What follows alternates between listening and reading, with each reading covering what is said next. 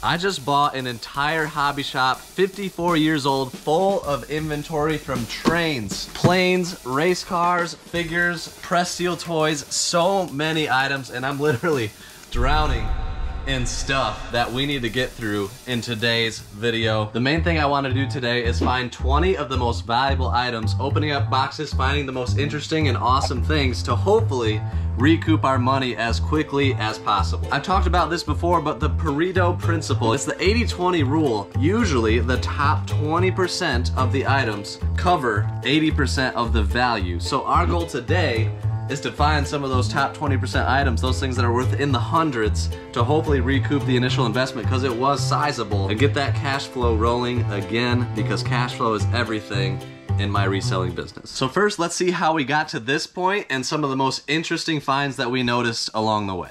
A couple days ago, we arrived at our storage unit with the 26 foot truck full of hobby shop antiques and collectibles. We packed this load not floor to ceiling by any means. We tried to keep it like four feet tall or less throughout. And we want to unload a bit strategically. I'm sitting at my storage unit here. It's empty. Even if you guys saw the video where we bought everything, you haven't seen anywhere close to what we loaded in. There's so much mystery, so many boxes, so many items that we haven't even seen. Alex and I started digging through everything as we unloaded the truck and found some expensive, weird, and fascinating items pretty quickly. And I look inside and see something that says PNC Bank, and that is definitely a money envelope. Oh. There's a sword made by Emerson and Silver, 1863 Civil War. But they go as high as like 600 $700. It took hours to unload it all, but discovering all the old sealed toys, knickknacks, and even the hobby shop owner's personal notes was a one-of-a-kind experience. We were able to successfully unload the truck and get everything organized. Well,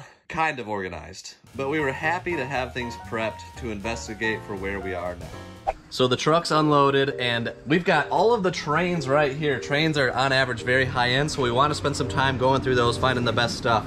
And then here we have stuff that I considered to be interesting, stuff that could be worth good money. I haven't confirmed that yet. Skylar and I are gonna confirm that next. This stuff we're not gonna touch today. We're gonna leave this, we're gonna touch this in a year. I'm not worried about that stuff. it was like glassware stuff that we just don't regularly mess with. And then there is definitely some interesting stuff. We got the fishing stuff all right here, and we've had a lot of comments from the video where we bought the fishing stuff. A lot of people want it, a lot of people are interested, so we might look at some of that. It's gonna be a ton of fun because this stuff here is amazing. Keep in mind, 54 years, and Ron bought almost only good stuff. He bought the best stuff, the most interesting stuff, and we've got it all. A lot of the stuff that we find still has the original price stickers on it from the hobby shop. Now, I don't know if the stuff is going up or down. Probably it'll be different in all cases. But this one, Ron had priced at $219. Sometimes he actually had it labeled for what he paid. So that could have been what he paid. It could be what he was selling it for. But that's something I obviously want to look out for. I've seen tags up to $2,000 on stuff. So obviously if we find that stuff, we're gonna look into it. So for those 20 items that we wanna find, I'm gonna make a goal of $3,000 being the value of 20 items that we find. We only have a couple hours, so finding that could be difficult, but I think we can do it because we're off to a good start with this one. Charles Soroya, we found the, the maker on it. And it's tough to find, but something like this, we would say comfortably is gonna be worth $200. We'll probably start the bid at $200 and hope that it will go up. For our last batch of items, which we're still not even close to done with, there was about a quarter of this amount of trains, and we have over $10,000 in just train sales. With that in mind, I'm curious, comment down below what you think we have in value here. This is all trains. And it goes back, all the way back to here is all trains. Quick note, some of these boxes make me really wish that Ron still had what was originally in them. You can see this one says Pokemon Starter Gift Box. Uh, I'm gonna put a screenshot up for what that is, but they came with a jungle pack and some other Pokemon items, and if the six of those were still in this case, we'd be looking at about three grand because they're 500 bucks a piece. Man. What's in here? Yeah, let's see what's actually in here. I'm curious if what's in here will be worth more than what was originally in here. I'm gonna say probably not. oh my. Oh my. we might find some winners here. Oh yeah. So we have a 2004 Lionel, brand new in the box. Is this a locomotive? It feels like it is.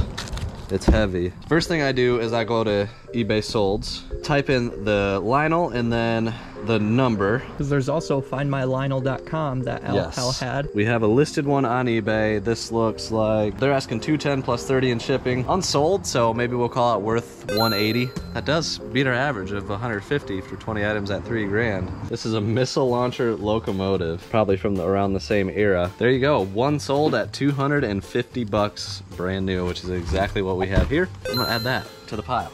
This one if it was in a newer box, it's a billboard steam whistle, which I'll show you the part right here. The newer version was worth about 25 bucks. This one is extremely old and it's worth closer to 200. It's crazy, like old and with the original box definitely makes a massive difference in anything, but trains is definitely, you get real premiums if you have the original box on old stuff. All right, so we're looking at the Southern R3 diesel locomotive. I had to go to find my Lionel for this guy. It does not show any listings on eBay, so it gives us the catalog price instead, which essentially is, hey, this is what it sold for back in the day. We can kind of judge our price based off of that. Probably worth that, give or take. Some cases a lot more though, so uh, not nearly as old as some of the ones we have. But I think it said seven or eight. Okay, it's about 15 years old. With the Grand Trunk Western GP 38-2 diesel engine, engines are where it's at. This one's catalog price was 220. And this one is valued at like 400. Oh my gosh, what is that? It's a very, very heavy locomotive. Seaboard, Seaboard Alco. Alco C-420. It's going to be very easy to hit 3,000 in value, I think, if we continue with trains. I mean, this thing is probably five pounds. I think we got it the right way. Oh, it's, uh, it's I mean, it's brand new, factory wrapped. Okay, we're so not going to take it further than it. that, but you can tell it's quality the way the they got it wrapped. The Lionel ribbon.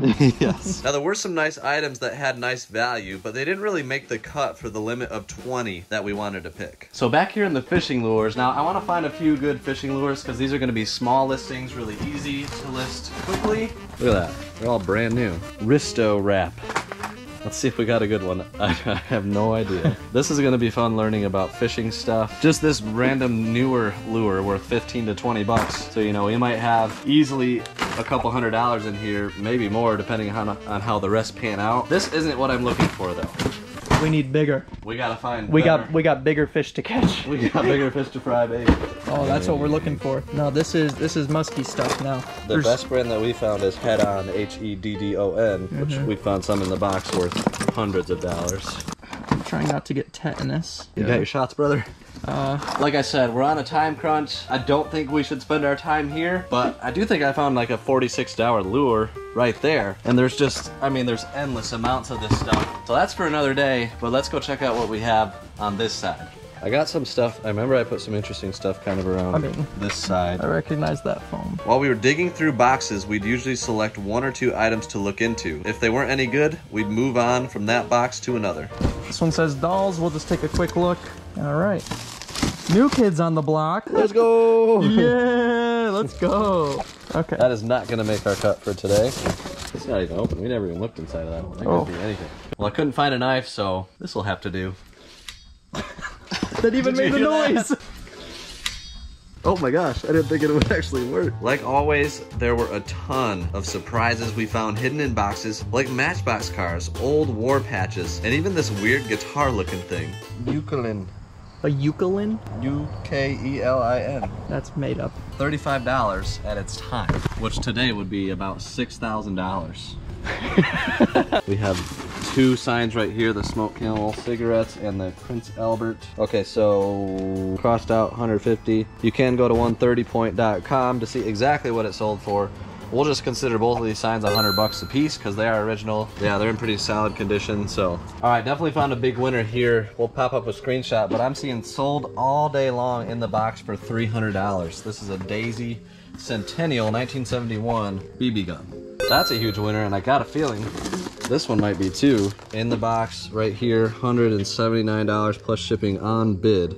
Wow. It's a 1977. So 180 a pop probably, depending on condition. It's obviously all these values are give or take, but usually when the um, when the item goes for a bid, the seller probably could have got more because the person that was really looking for it probably didn't see it in that seven day time span. They might have been willing to pay 250, 300. There's no other options for something this rare. So that bid of 180, usually I see that as very strong value and we might ask like 300 or best offer, take an offer 250 and actually get more than what that was. So 180 a piece on these and 300 right there. So we're starting to run out of time today, but we have 10 items and the total value right now is $2,140. That includes one, two, three, four, five, six non-train items, four train items. For sake of time, we're probably gonna find some trade items for the next 10 because those are just very high odds of being amazing and we're gonna find some really awesome stuff. Should we see if we can get to 5,000? Let's go for 4,000. 4,000. Our original goal was 3,000. We're gonna up it since we're gonna have more trains. Let's do it. So I think we're gonna do some digging and when we find something, we'll update you guys. Let's do it.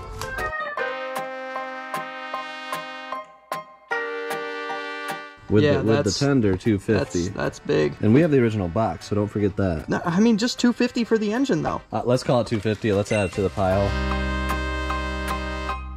It's American Flyer. Hmm, Screenshot Two, that. 280 sold. So we'll call it 200. Put it right in the middle. Look at how pretty that is. I'm not a train guy at all, but Dang. that's very, very nice. Everything's checking out. 2243p. I'm gonna check that out. For parts, one went for $103 with the box. What does the tender look like? Oh, we found one! 665. Didn't we just pull up this one? That one's about 100 bucks for the locomotive. Maybe more in the box actually. It's nice when you're looking up something and it pans out to be $100, but you can see how much work it takes just to get one train. Now multiply that by hundreds of lures and other various things. it's going to take a lot of time to get through for things that just won't be worth as much. Chase, do you think you have a strategy moving forward? Would you ever do, I don't want to say bulk, but are you going to lot up a lot of stuff that is just lower? Maybe. lower I mean. I might do some like consignment type deals, which I've done in small quantities through the Discord with people that I know and trust in there. And honestly, like fishing lure stuff like that, maybe Um, these stink. they smell. They smell so bad. This is another Santa Fe one. Another hundred dollar plus right there. Boom. Wow, this one's even heavier. Oh boy, That's cool. this is a good one. Um, Looks like it has lights inside. if we find the tender, this is upwards of six hundred dollars. I hope it's in this box. Um, I'm gonna screenshot that.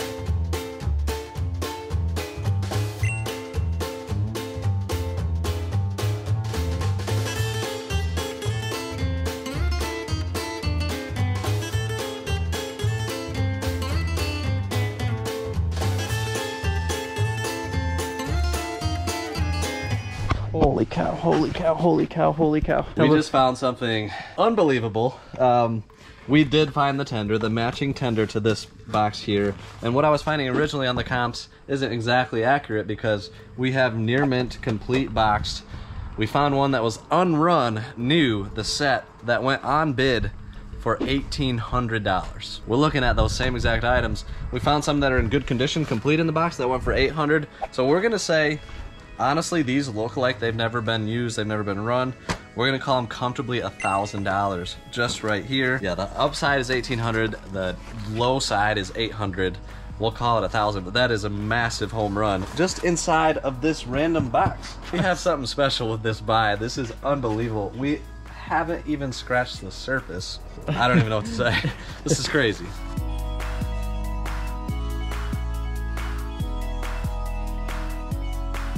Well, we have finished with our 20 items. We actually only did 19. A couple of them were lots, so it depends on how you look at it. We made up the rules. 19 items, mostly trains. Trains are awesome and their value is insane and it's been blowing our minds ever since we bought the first hobby shop buyout. This buyout's even better. 19 items valued at $5,380. Oh, cow, we passed it. We passed 5,000. We said that it kind of as a joke. We changed it to 4,000, but we still easily passed Wow. 5,000. The $1,000 train definitely made a huge difference. Those BB guns being a couple hundred bucks a pop, and just the trains, average value. The average value total is 283. So the thousand dollars, if you take that out, we're still probably at 220 average value. That's a heck of a day. Guys, we haven't scratched the surface. So if you guys want to see another video like this, please let us know. And after a day like this, it's nice to go home and have a nice meal with our families. So Sky Guy and I decided to make dinner for our wives using HelloFresh. In case you didn't know, I'm a spicy boy. So today we're making the crispy kickin' cayenne chicken cutlets, which look fantastic. HelloFresh helps you eat more sustainably since recipes include pre-portioned ingredients Which cuts down prep time and cuts down wasted food. You can even customize your meals with Hello Custom. You can swap out one protein or side for another, which means more choices, more variety, and more meals tailored to you. I really like their mashed potatoes, so I'll probably add that everywhere I can. HelloFresh also has veggie, pescatarian, and fit and wholesome meals to help you hit personal goals without sacrificing flavor. I have twins, and HelloFresh has lots of kid friendly recipes that can help if you have picky eaters. The step by step recipes are ready in around 30 minutes or less, too, which allows me to spend more time with my family. Go to HelloFresh.com and use promo code RightPrice16 for 16 free meals across 7 boxes and 3 free gifts. My family and I already had these other meals together and were really happy with how quick and easy it was. Honestly, the only hard part about these meals was making sure I didn't get any on my glorious Hawaiian shirt. Once again, that's HelloFresh.com, promo code RightPrice16 for 16 free meals across 7 boxes and 3 free gifts. Thank you to HelloFresh for sponsoring this video and making my wife think that I finally made it on YouTube. And to you guys for watching this, we appreciate you for supporting us in all the ways that you do. Bartle do.